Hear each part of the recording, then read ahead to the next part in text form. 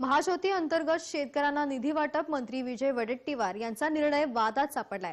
कडे उत्पादकांना ओबीसींचा निधी देणं अयोग्य असल्याचं बोललं जाते आणि त्यावरूनच ओबीसी आंदोलकांनी वडेट्टीवार यांचा विरोध दर्शवलाय.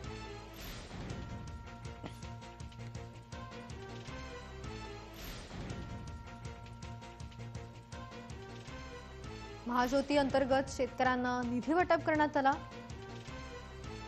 या प्रकरणी हा वाद आता समोर आलाय. मंत्री विजय वडेट्टीवार यांचा निर्णय वादात सापडलाय.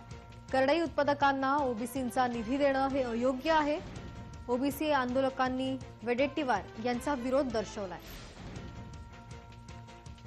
मदत आणि पुनर्वसन मंत्री विजय वडेट्टीवार यांनी याआधीही महत्त्वपूर्ण असे निर्णय घेतले होते. मात्र महाज्योती अंतर्गत शेतकऱ्यांना निधी वाटप या निर्णयाचा चर्चा रंगू लागलाय. ओबीसी नेते मृणाल ढोले पाटील आपल्यासोबत जोडले गेलेले आहेत. मृणालजी मंत्री विजय वडेट्टीवार यांचा हा निर्णय वादात सापडलाय आपली प्रतिक्रिया? सगळ्यात पहिलं म्हणजे मॅडम महाज्योती महाज्योती जी संस्था आहे ही पुण्यामध्ये होती. कोणाचीही मागणी होती कुठल्याही संघटनेची मागणी नव्हती कुठल्याही कार्यकर्त्याची मागणी नव्हती. फक्त आणि फक्त विजय वडेट्टीवार यांच्या हट्टापायी ही संस्था नागपूरला नेण्यात आली. कुठलाही भूखंड त्याच्यात उपलब्ध झालेला नाही. मागच्या वर्षीचा निधी लॅब झाला आणि याबरोबर निधी आला तर त्याचा गैरवापर केलेला आहे. महाज्योतीची विद्यार्थ्यांसाठी संघटना आहे. ती जी.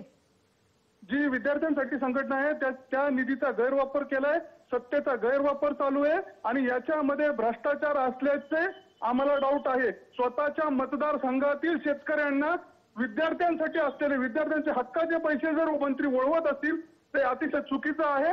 हे झालं नाही पाहिजे. मंत्र्यांना तत्काळ कार्यकर्त्या त्यांच्या कामावर हटवलं पाहिजे. ओबीसीचे नुकसान मंत्री आहेत ते. ओबीसीचं नुकसान जेवढं विजय वडेट्टीवार यांनी केलेलं आहे त्यांनी कुणीही दुसऱ्यांनी केलेलं नाही. बर. मृणालजी या प्रकरणी कारवाई करणं हे किती गरजेचं आहे? अत्यंत गरजेचं आहे. त्याचं कारण असं आहे की महाज्योतीचे जे ऑब्जेक्टिव्ह होते त्याच्यामध्ये कुठेही हे नव्हतं की शेतकऱ्यांना तुम्ही निधी द्या.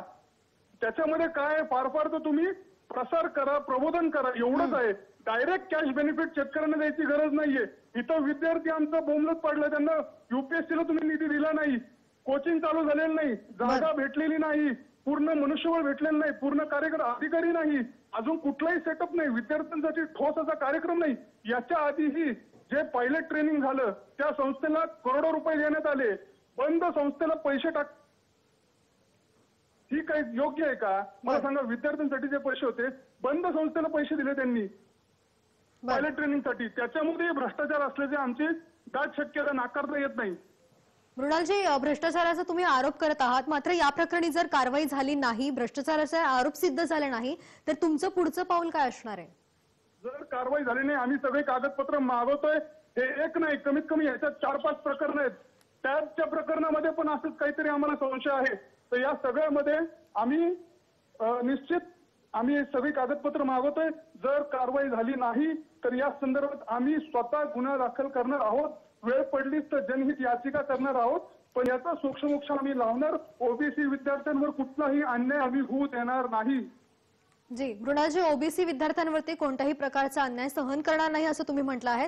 धन्यवाद तुम्ही दिलेल्या प्रतिक्रियेबद्दल. तर मंत्री विजय वडेट्टीवार यांचा निर्णय सध्या वादात सापडलाय. करडई उत्पादकांना ओबीसींचा निधी देणं हे अयोग्य असल्याचं बोललं जाते. ओबीसी आंदोलकांनी वडेट्टीवार यांचा विरोध दर्शवलाय.